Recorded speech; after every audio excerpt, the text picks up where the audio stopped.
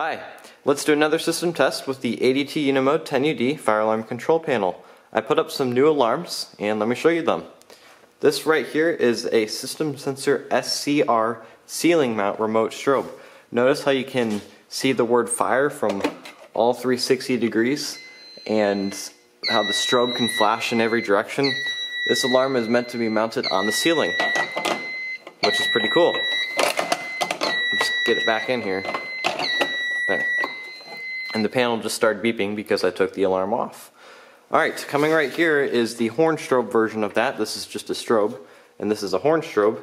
And its model is the System Sensor PC2R. And as you can see, this one is set on 1575 candela, which is the brightness of the strobe.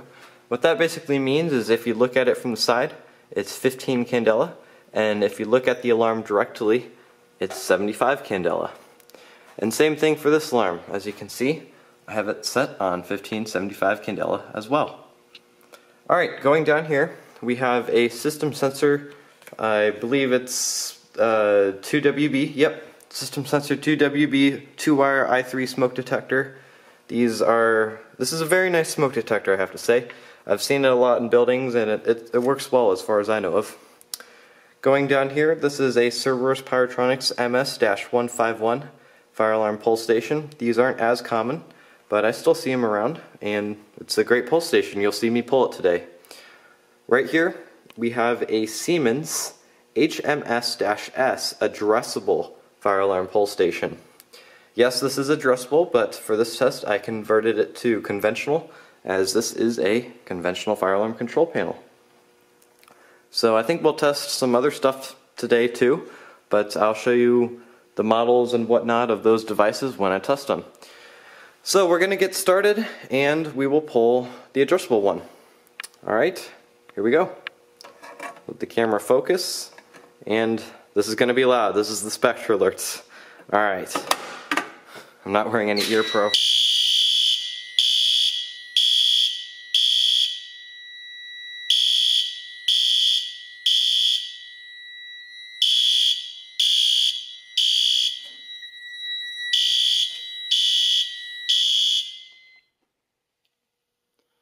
That's on low volume.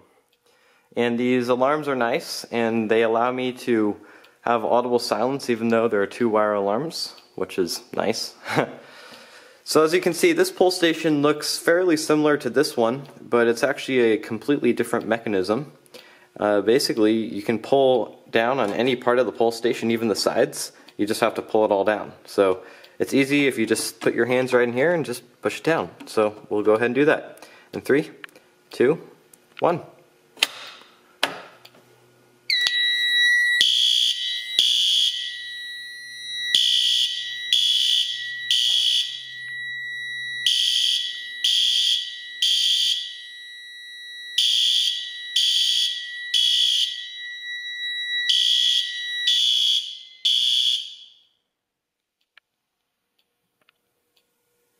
That was zone two. As you can see, the strobes are still flashing. And one thing I like about this pull station is when you pull it, it says alarm. And that's very nice as it verifies to the person that pulled it that they pulled it correctly. The Fire-Lite BG12 also does that. I think I have one right here, or at least a version of it. And basically when you pull it, it says activated. I really like that feature. I'll reset that later. This one, as you can see, you just pull it down and it doesn't say anything. I think they could have put like a word or something in there, like activated or alarm or something. Even right here with the notifier NBG1, when you pull it, they could have put in some words or something that said alarm activated or something like that, just to help verify to the person that pulled it that they did it correctly. Okay, we can go ahead and test the System Sensor i3 smoke detector. So it's a smoke detector, so I think we will have to use some sort of fake smoke to test it. It does have a test button, but let's be honest, that's boring. So we'll use some fake smoke. This is Smoke Saber.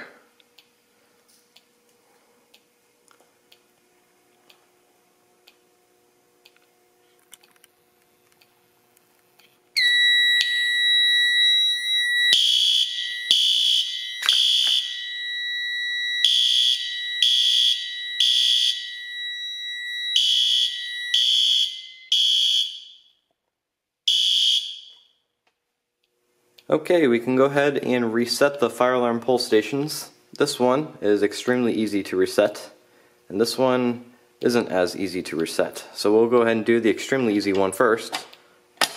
Boom, it's reset, that's all you needed. And that was just a little hex wrench.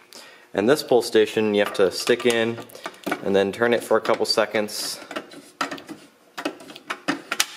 and then it automatically pops up because it's spring loaded. This is the inside of it. There's the button that activates it. And then you have to turn it all the way back, which again takes a couple seconds. These are both good pull stations. Uh, I know it sounds like I like this one better, but the one thing I don't like about this one is how easily it could be activated. You could literally pull it just by doing that.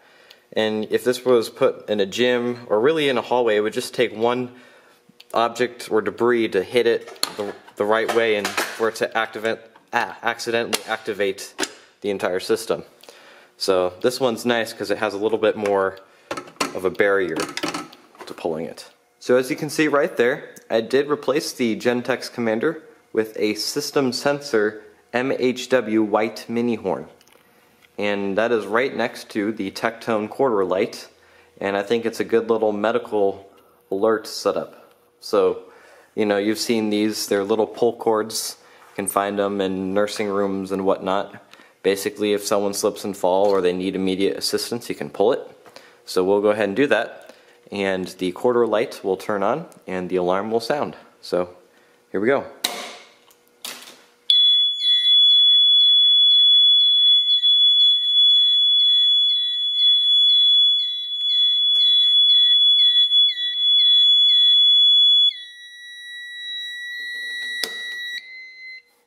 That's loud, isn't it? And it kind of sounds like a smoke alarm. I also do have it wired in so that it works with this blue medical pull station too. Let's go ahead and demonstrate it.